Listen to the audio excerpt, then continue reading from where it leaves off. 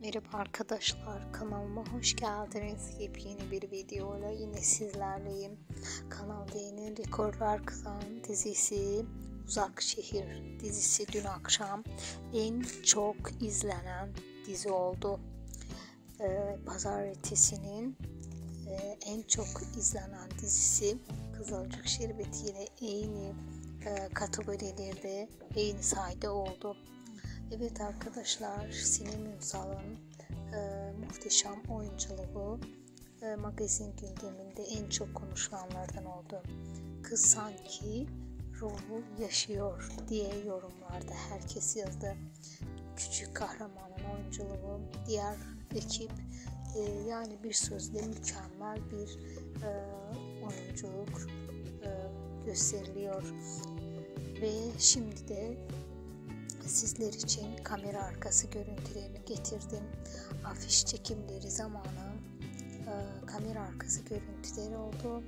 İşte o kamera arkası görüntüleri sizler için e, paylaşıyorum.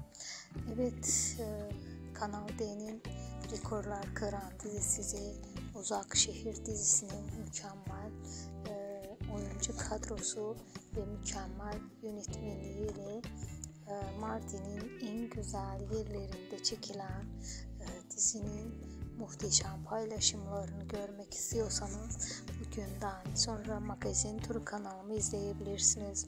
Kızılcık Şerbeti, Sıla Türkoğlu ve Uzak Şehir dizisinin haberlerini magazin turu kanalımdan alabilirsiniz.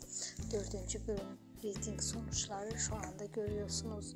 Ratingler harika yine zirvedeyiz. Oyunculardan paylaşımlar geldi. Yeni görüntülerimde, videolarımda görüşmek üzere. Rekorlar kıran tüm kategorilerde dün akşam birinci olan Uzak Şehir dizisinin kamera arkası görüntülerini, fotoğraflarını sizler için getirdim. Lütfen emeği saygı, videolarımı beğenin ki ben de sizler için bu tarz videolarımın devamını getirebilirim. İyi seyirler, hoşçakalın. Teşekkürler arkadaşlar.